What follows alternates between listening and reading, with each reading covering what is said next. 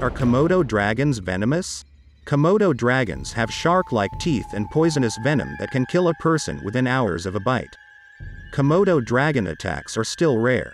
They lie in wait for prey and ambush them by charging forwards with their jaws open. The lizards can spend hours in one spot, waiting for wild boar, deer, goats and other large mammals to pass by. The Komodo dragon kills via blood poisoning caused by the multiple strains of bacteria in the dragon's saliva.